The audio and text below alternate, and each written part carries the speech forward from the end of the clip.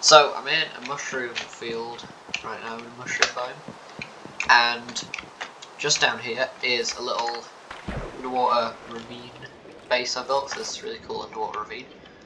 I'm head down there now. Avoid the bubbles. Avoid the bubbles. Bubbles avoided.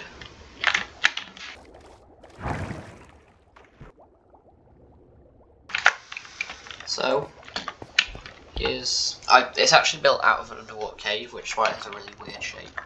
I didn't really like it much, but uh, it's alright to be honest. I've actually kind of made it work, to be honest. So we've got like some different coloured terracotta. I haven't really built with terracotta that much. So here's all the workstations. Here's the, the smelter. All chests and stuff. I I love the new um, blue green copper. We got like some discs.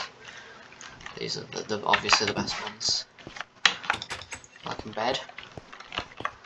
One of the new uh, azaleas, which uh, obviously you can now put in plant pots and bedrock.